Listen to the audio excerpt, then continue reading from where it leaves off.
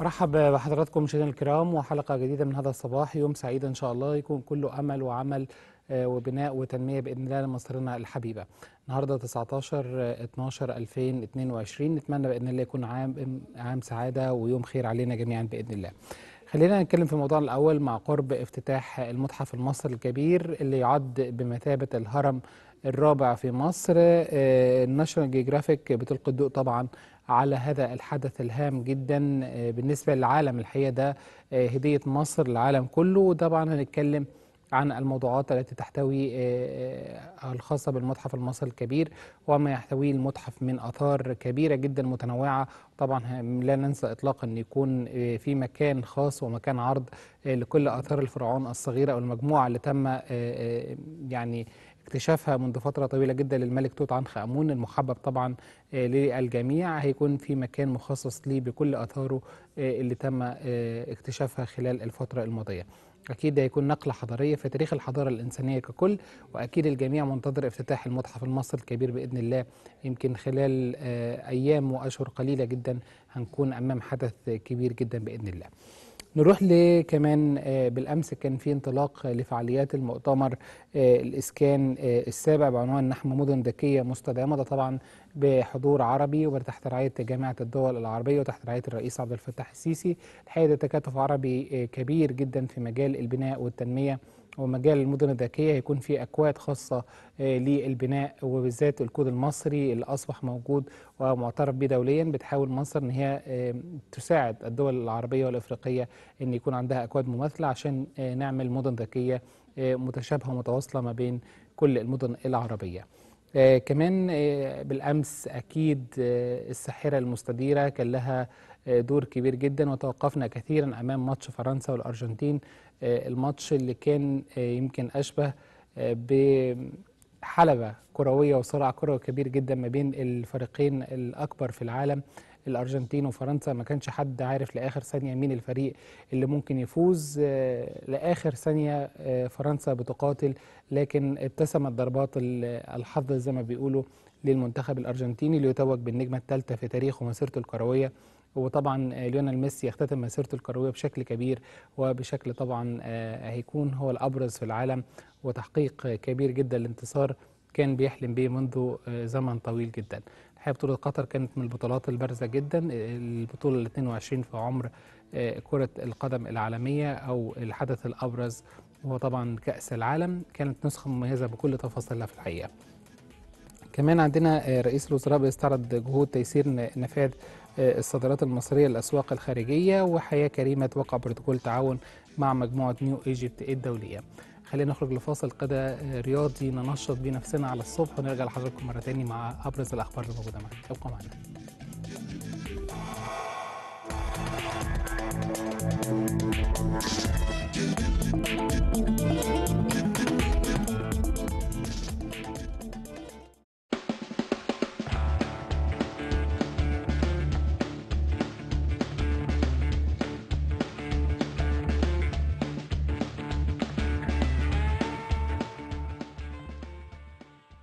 صباح الفل. النهارده محضرين مجموعة تمارين هنعملها مع بعض. هستناكم بعد الفاصل.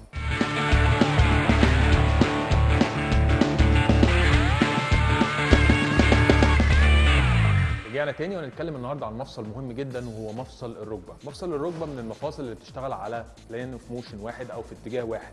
يعني نبص نلاقي المفصل ده عايز أتحرك عليه فابتدي إن أنا أتحرك لقدام أو ورا. لكن ما يتحركش مثلا يمين أو شمال أو ما يقدرش يعمل دوائر. المفصل اللي أو المفاصل اللي ممكن تساعده في الحركة دي لو أنا ابتديت إن أنا أعمل بركبتي بالشكل ده الحركة اللي بتحصل دلوقتي مش من الركبة الحركة بتحصل من مفصل الفخذ. فتعالوا نراجع كده المفصل ده هو بيشتغل معانا عامل إزاي. هنلاقي الحركة الوحيدة اللي هو بيقدر يعملها هي حركة الثني والمد أو ال flexion وال extension أو لما ابتدي إن أنا أتني في الاتجاهين دول. طيب هل المفصل بيعمل حركات تانية؟ آه بيعمل حركة تانية اسمها ال rotation والحركة دي ما بيعملهاش إلا لما تكون الركبة متنيه يعني لو أنا تنيت ركبتي بالشكل ده وابتديت إن أنا ألف رجليا بالشكل ده هلاقي في عظمة هنا بتبتدي تلف معايا. تمام؟ فهنا بيحصل حركة بسيطة في مفصل الركبة. طيب الحركة دي هل أقدر أعملها وأنا واقف كده؟ أقدر أعملها من مفصل الركبة؟ مستحيل. الحركة دي لو ابتديت إن أنا أعملها وأنا فارد ركبتي مش هتحصل إلا من مفصل الفخذ إذا فمهم جدا إن أنا أبقى فاهم التكوين التشريحي للمفاصل بتاعت جسمي وإزاي إن أنا أقدر أتعامل معاها وإمتى هي بتتحرك وبتتحرك في أوضاع عاملة إزاي. فإذا وأنا تاني ركبتي هقدر أعمل الحركة دي وأنا فارد مش هيحصل أي حركة غير الفرد والتني اللي في اتجاه واحد. إذا فالمفصل ده من المفاصل المحدودة شوية في الحركة واللي ليه طبيعة في الحركة بتاعته دي نقطة. النقطة الثانية المفصل ده من المفاصل اللي اسمها hinge joints ال hinge joints دي بتشتغل على axis واحد وبيحصل فيه حاجة اسمها lock أو تقفل للآخر. فطبعا لما أنا أكون قافل عظمي للآخر بالشكل ده ممكن يحصل احتكاك للأسطح بتاعة العظام وده ممكن يحصل يعمل تآكل فيها فبنخلي بالنا إن إحنا إيه دايما ما نبقاش محملين على المفصل نفسه نبقى تانيين رجلنا سنة بسيطة. ده ممكن يتعب عضلاتنا أكتر لكن مفيش مشكلة من تعب العضلات لأن ده هيدربها إن هي تكون أحسن. لكن لما أتعب العظم ده بيبتدي إن هو يحصل فيه تآكلات. والحكاية دي بقى ممكن تاخد معانا وقت طويل جدا وممكن يبقى ليها تبعيات ومشاكل. فبالتالي دايما ما اتعودش إن أنا أقفل المفصل بتاعي للآخر سواء كان بحمل أو حتى وأنا واقف بشكل عادي. طيب حاجة تانية إن المفصل ده بيبقى فيه في تكوينه مجموعة من الحاجات زي الغضاريف. عندنا في حاجة مشهورة جدا اسمها الغضروف الهلالي وفي منهم اتنين في الركبة واحد داخلي واحد خارجي. والغضروف ده عبارة عن مخدة كده بتمتص الصدمات أو بتمتص وزن الجسم علشان تبتدي إن هي تحافظ على حركة الإمباكت أو حركة الاصطدام اللي بتحصل من حركة المشي أو الجري أو النط أو الحركات بتاعتي الطبيعية اللي أنا بعملها. طيب مهم جدا إن أنا أبقى بتعامل مع الركبة بشكل صحي وآمن لأن لو ضغطت على جنب أكتر من التاني ممكن يبتدي إن هو إيه يخلي في جنب أضعف من التاني أو غضروف أضعف من التاني وده بيبتدي إن هو يعمل مشاكل على المفصل. فبالتالي بنبقى واخدين بالنا إن أنا ركبتي الوزن أو الحمل اللي حاصل عليها ما يبقاش في جنب أكتر من التاني. فنراجع حركاتنا. نبتدي نشوف مثلا هل أنا مثلا بدوس على رجلي وركبتي متنية وأنا ركبتي معوجة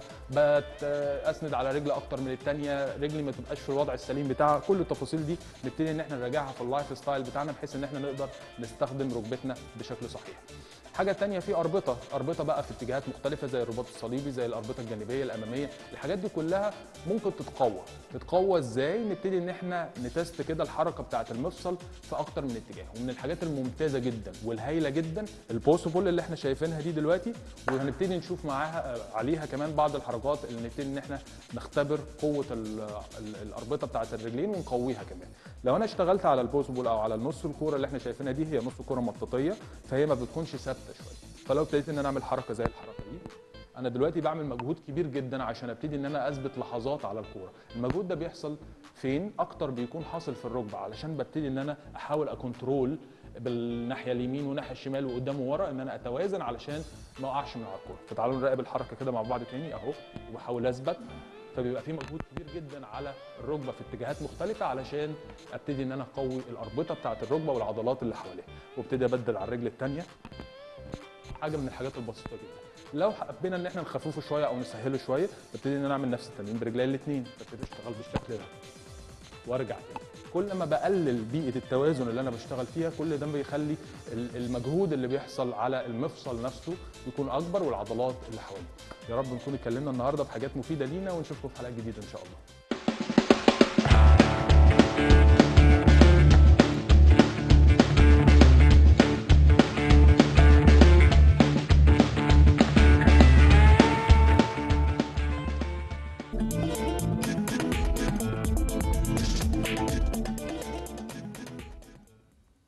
برحب بحضراتكم من جديد مشاهدينا الكرام وبنبدأ أخبارنا الموجودة معانا النهارده. قال وزير التموين دكتور علي مصلحي إنه سيتم تشكيل لجنة عليا تضم اتحاد الصناعات والغرف التجارية وجهاز حماية المستهلك لوضع سعر عادل لبعض السلع الاستراتيجية الأساسية واللي يصل عددها لما يقرب من 10 ل 15 سلعة أساسية. خلال اجتماع مع عقلاء الوزارة ومدير المديريات على مستوى محافظات الجمهورية أشار الوزير لأن التسعير سيتم وضعه طبقا لتكلفة الإنتاج والمدخلات الخاصة بالسلع. هيبقى في نشرة بتقول إيه الأسعار العادلة للسلع الأساسية أو قانونا الاستراتيجية. إحنا ما بنحددش أسعار. ليست تسعيرة جبرية. التسعيرة الجبرية النهاردة موجودة فقط في الرز. في فترة ترانزيشن اللي هي الأسبوعين من الاربع للاربع الجاي ده اللي بعديه.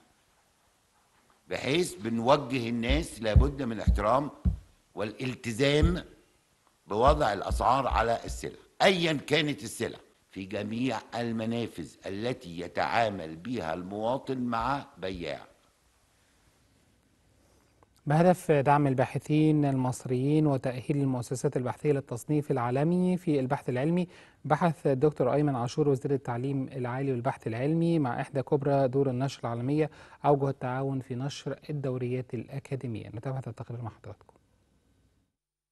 تعزيز التعاون بين مصر وإحدى كبريات دور النشر العالمية التي تختص بنشر الكتب والدوريات المعتمدة دوليا على الساحة الأكاديمية جاء مترجما في هذا اللقاء بين وزير التعليم العالي وممثل دار نشر السيفير العالمية في إطار من التعاون لتطوير تقييم الجامعات والمراكز البحثية المصرية عبر مشروع منصة البيانات الضخمة فضلا عن توفير إمكانية النشر للباحثين المصريين. كيفية دعم الباحثين في الموضوعات الجديدة من خلال تكنولوجيا البحث العلمي الحديثة من خلال ربط التخصصات المختلفة بتخصصات بينية أو من خلال موضوعات بحثية تحتاجها الدولة في الفترة القادمة. وبالطبع من الموضوعات الهامة أيضا هو تصنيف المراكز البحثية. نحن نعلم تماما أن هناك تصنيف للجامعات. اليوم إحنا ناقشنا عمل تصنيف موازي للمراكز البحثية بغرض دعم هذه المراكز وتتنافس في سبيل الحصول على جودة عالمية. ممثل دار النشر العالمية أشار لعمق التعاون مع المؤسسات البحثية والعلمية المصرية والتي أهلت عديد الجامعات في مصر لأن تتقلد مراكز متقدمة على مستوى العالم. We have Egypt at the center of our mind for the region. مصر لديها تاريخ رائع في المجالات البحثية. هناك أكثر من عشرين جامعة مصرية تم تصنيفها من أفضل الجامعات على مستوى العالم وهو أمر رائع للغاية. نسعى دوما لربط فكرة البحث العلمي بالسوق العالمي مثلما حدث خلال أزمة كورونا والتي تعاملت مصر معها بفكر وإدارة جيدة.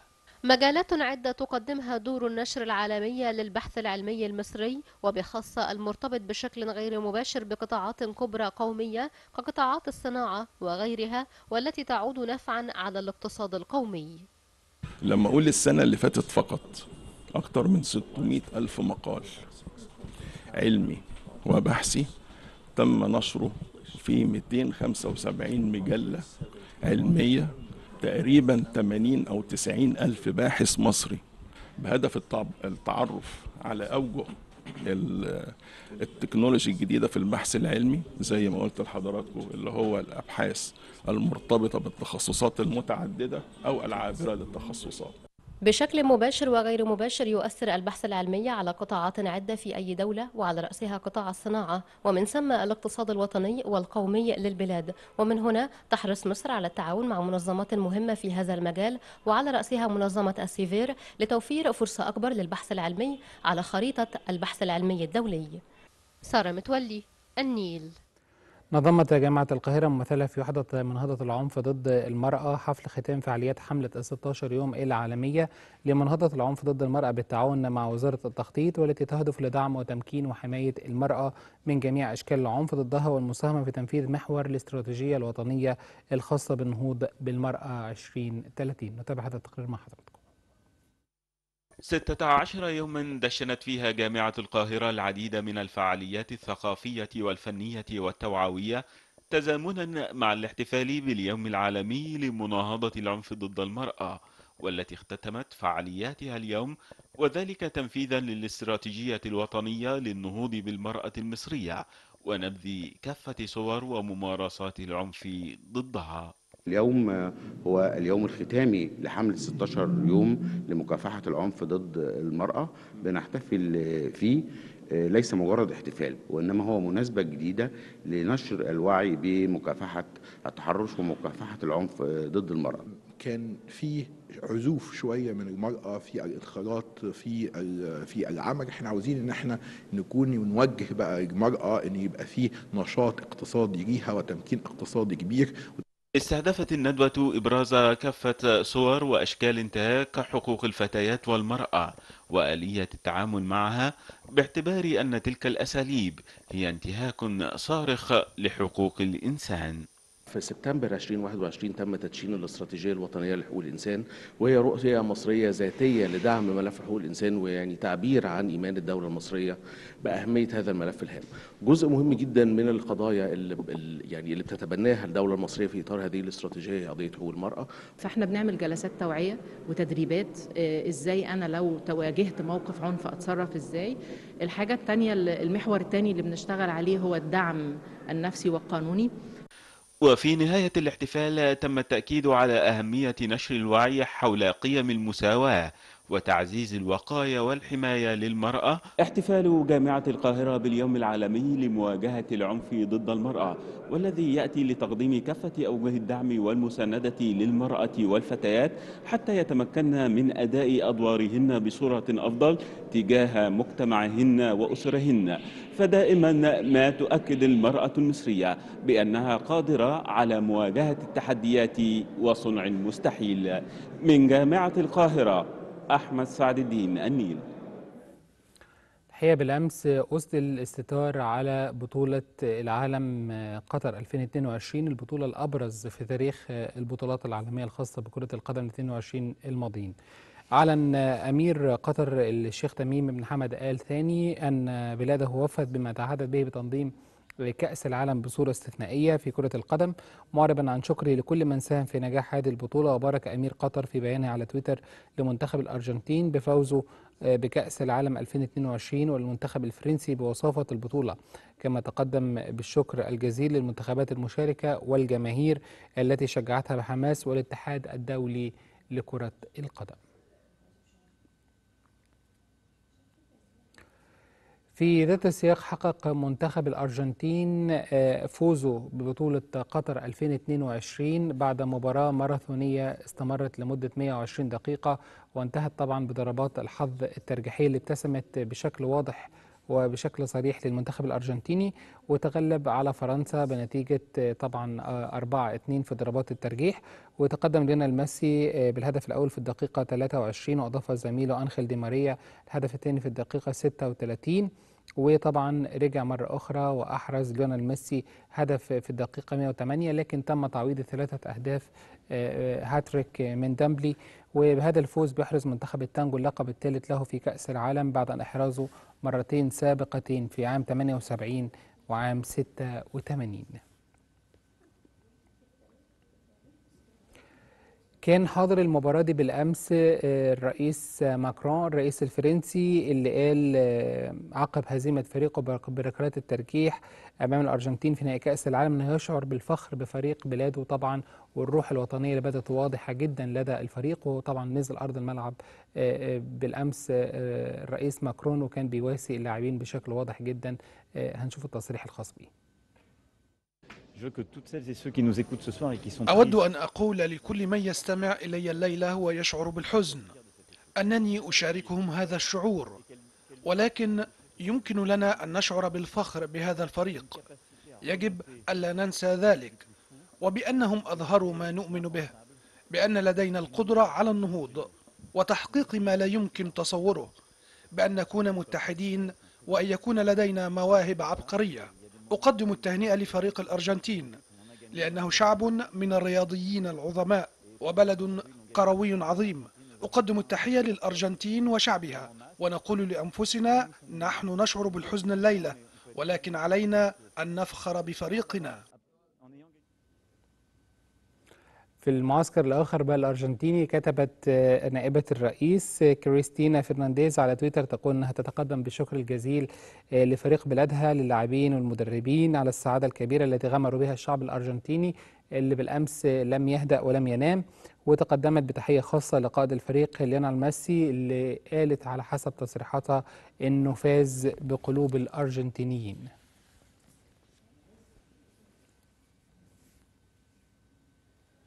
نروح لقطر برضو أقيمت في قطر بطولة كرة اليد للهجانة وهو مزيج فريد من نوع بيجمع بين سباق الهجن ولعبة كرة اليد كنوع من التغيير عن الأجواء الاحتفالية بكرة القدم خلال بطولة كأس العالم اللي اختتمت بالأمس الأحد. نتابع هذا التقرير مع حضراتكم.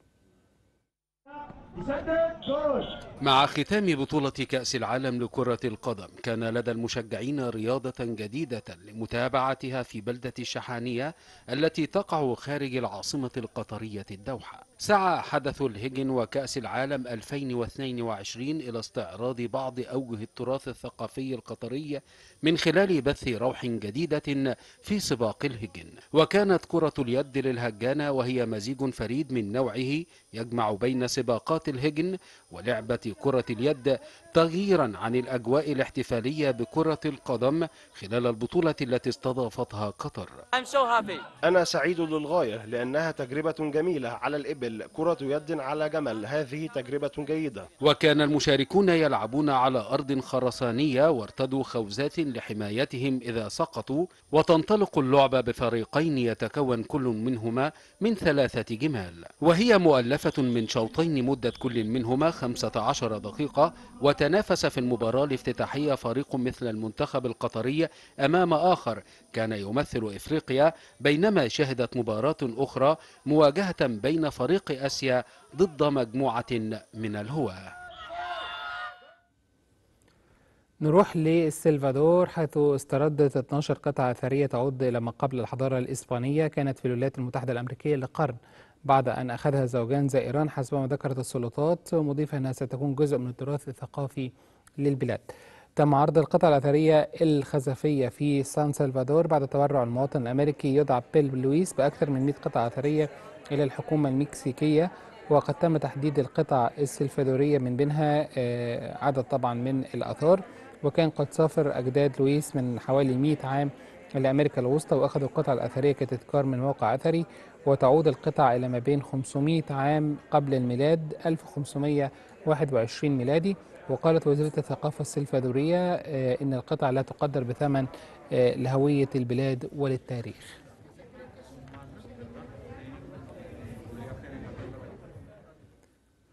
نروح لخبر آخر. بتضيء زينة عيد الميلاد شوارع مدينة نيويورك الأمريكية في الوقت الذي تحتفل به المدينة بموسم العطلات. تلألأت تسع مجموعات من التركيبات الفنية المستلهمة من العطلات عبر الحي الخامس.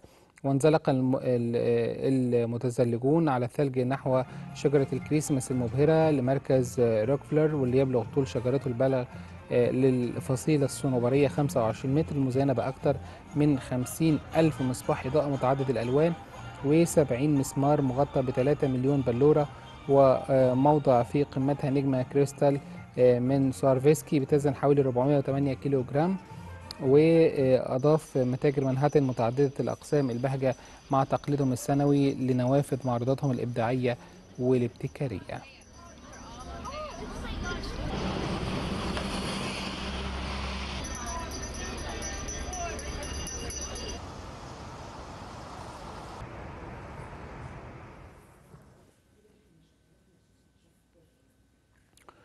طرح في مزاد الدمية الخاصة بالكائن الفضائي في فيلم E.T. بعد 40 عام مع الفيلم الشهير المخرج ستيفن سبيلبرج طرحت دار Julien's Auctions للمزادات. الدمية الآلية اللي يبلغ طولها متر واحد فقط مقابل سعر تقدير يتراوح بين مليونين وثلاث ملايين دولار.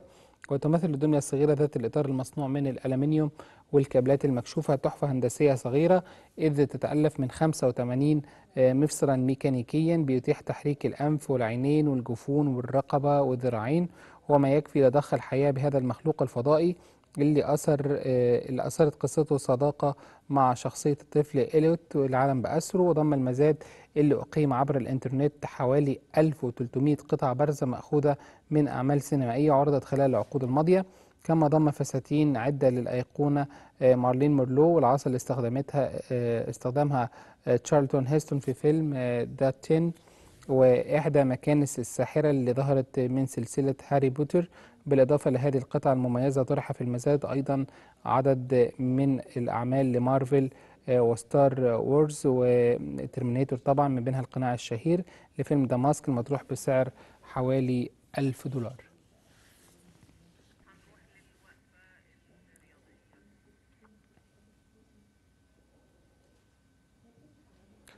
طيب ده كان استعراض سريع لبعض الأخبار اللي موجودة معانا. نروح بقى نشوف أخبار الرياضة وأخبار الكرة والملاعب آه، مع آه، زميلي آه، شهاب شعلان بعد الفاصل. thank you